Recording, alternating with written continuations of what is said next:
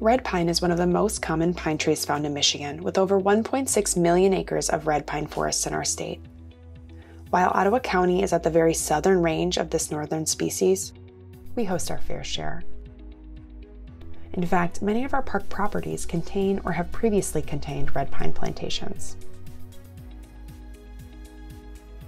Much of the red pine found in Michigan was planted to provide work during the Great Depression, in Ottawa County, red pines were planted for economic reasons, their relatively fast growth rate, and value as timber products.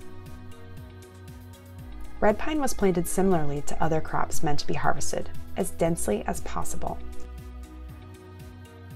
At Pigeon Creek, the pine plantation has been managed through periodic thinning for 70 years.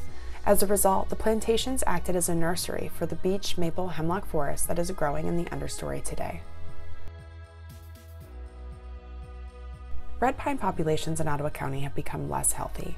Even though the plantation at Pigeon Creek was properly managed, the introduction of root rot along with summers trending hotter and drier, these northern species have become stressed and more prone to disease.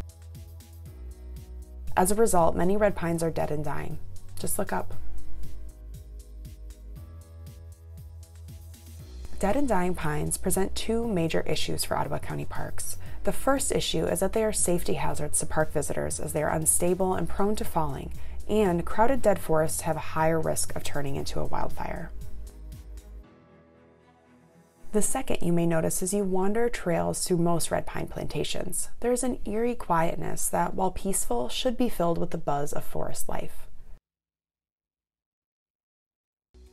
Monocultures, by their very nature, provide limited biodiversity, which means fewer species of plants and animals are able to live there. In an effort to remove unnecessary safety hazards for park users and improve the health of the forest, Ottawa County Parks has decided to embark on the final removal of red pines at Pigeon Creek Park. We recognize that it will be difficult to see trees cut down, and we expect that the initial result will be jarring. However, we encourage all park users to look toward the future where a more diverse ecosystem awaits. Fortunately, there is a young deciduous forest growing within the planted pines that will be invigorated by the harvest. New plants may also grow from seeds waiting in the soil.